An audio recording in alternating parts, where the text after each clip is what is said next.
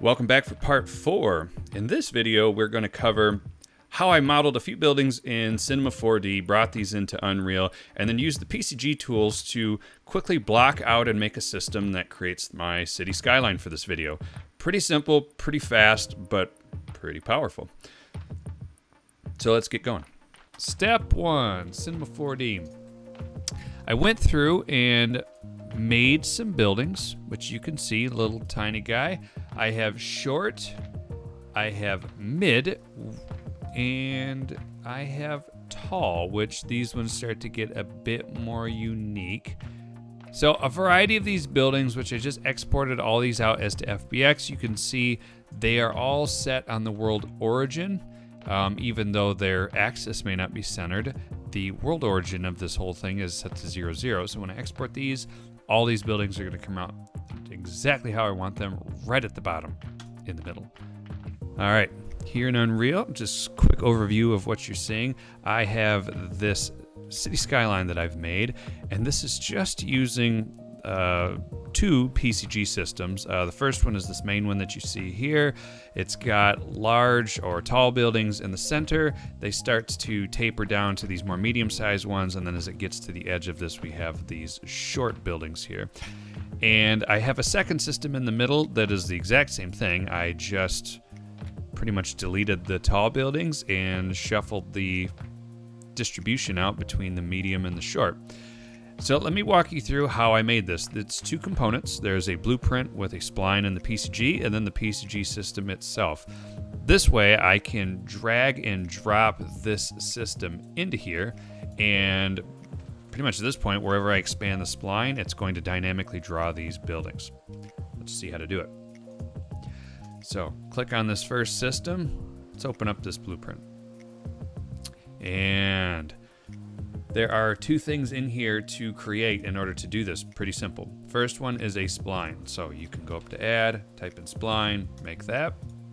Great. And really the only thing you need to add to this, uh, you can distribute your points that you want. Um, I'll show you the way that I actually made this. Then I'll delete it. So usually it starts out like this. You've got these two points. I deleted this first one. And then this right one, if you right click on the point, and you should see spline generation panel. Should pop up, oftentimes in really weird spots. Yeah, I swear these things always play peekaboo. If you saw that, you have a better eye than I do. So it's tucked down here, doing whatever, but I'm just gonna click circle, and this will just generate a circle for you. Uh, number of points, three. That's great. We're going to see if there's actually a fourth one in here, but um, we can exit this out now. So now if you click onto these points, yeah, there's actually a fourth one. So something to keep in mind. There's two that overlap on the bottom. Really couldn't tell you why that is, but I spread all of these points out. And the last thing you want to do is just make sure that this is closed. So go over here, onto your right, closed loop. Now if you check off, now you have this closed circle delete this because I've already made my main one. And you guessed it for the second part, type in PCG into here. And if this isn't showing up, you can't create any PCG stuff, whatever. Um, you just need to make sure to go into your plugging, into your plugins. If you type in procedural content, all these PCG things, just check them on, restart really quick, and you'll be good to go. So to make sure this capped off, just to recap, we've got our spline and this PCG volume. So this by default is set to none. I went in and just crashed after the crash. So I've added in this PCG. Um, comes in empty, but I've gone ahead and preloaded the um, the PCG that I have. If you haven't gone ahead and made a PCG setup already, you can do it this way. Assuming it's all enabled, come down here into PCG and there's only one option to pick from. Click that, you're in business. So I'm gonna open up the first one that I've made. This felt intimidating the first time I looked at it. It's actually really simple and intuitive once I got into it. Really like this stuff. But keep going off of this. The first thing I'm adding to this is this get spline data. This is just going to say, hey, whatever spline we're using, get that one. So because we are referencing this PCG volume or any of these PCGs inside of our blueprint, it's going to reference this spline that we've made, which is the one we're going to make out in our viewport. Super handy. Next node, spline sampler. This is going to give us all of our clones, our points, and all this stuff that we want to kind of start to control this. So with this, uh, for dimension, usually by default it's on spline. We don't want to draw these on the spline. Unless you do, then you're in luck. So I went down to did on interior. Interior sample spacing. This is the one that I played with. It starts at 100, which is pretty tight because these buildings are made close enough to real size. So I spaced them way out. I just cranked it way up and that worked. And the last thing that I did was this interior density fall off. I started with this first point at time zero value of one, and it's going to go all the way down to time one value of zero. Uh, this is going to give me a linear fall off. You can add easing to this if you wanted to custom control it, but it gives me a value of uh, the center out to the outside where the spline is. And the step after that is where these density filters come in. So for the tall buildings, the lower bound and the upper bound. So this upper bound is one. And what I just showed you here, anything that's at 1 is in the dead center of the shape, and anything that's at 0 is out at the spline.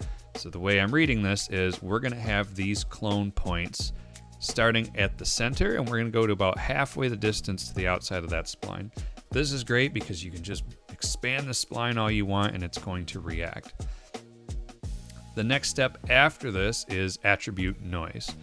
So this attribute noise node uh, pretty much takes the selection that you've got, so this 50% from this density filter, and then it's going to just apply a random generation pattern to this. So pretty much gives you noise and a random pattern that you're using on your density filter. So this is going to give us the black and white values that we're sampling per point, but more in a random pattern, which is great.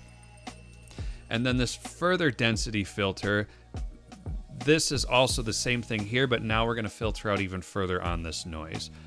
After this, transform points, I added some random movement to the X and Y axis just to kind of shift these buildings a bit.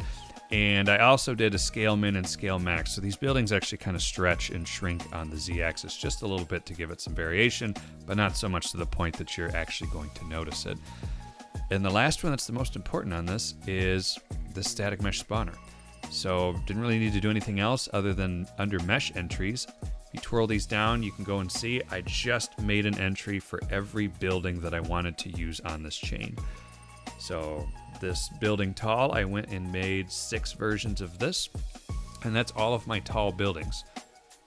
So to kind of demonstrate this, if I unplug the medium and the short ones, these are all the tall buildings kind of being randomly generated in here. And if I wanted to shrink these down and apply different values to these, now you can start to see where some of these scale values and stuff comes into play. And really at this point, I did the exact same thing for the medium and the tall buildings. So if I kind of work my way back, I have medium buildings loaded into all my mesh entries. Transform points, pretty much the same. I didn't change anything on that. This density filter is the main one. So we had 0.6 to 1. That's what I used for the tall. And then 0 to 0.6. So the opposite end of that range that it's sampling is going to do medium buildings. So center to mid, tall buildings, and then medium buildings trickle out from there.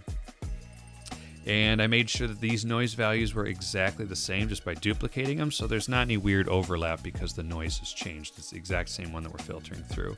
And that's pretty much it for this whole thing. You just kind of can keep stacking stuff up and just making sure you get the buildings where you want. And when this is all said and done, really simple skyline that you can play with. And I just adjusted these spline points to taste to get these to align with the track that I wanted. And that's it. Uh, Skyline in a nutshell. Thanks for watching. Hope you found this helpful. As always, please leave comments below. Let us know what you thought of this, uh, if there's anything you'd like to see. And as always, thank you.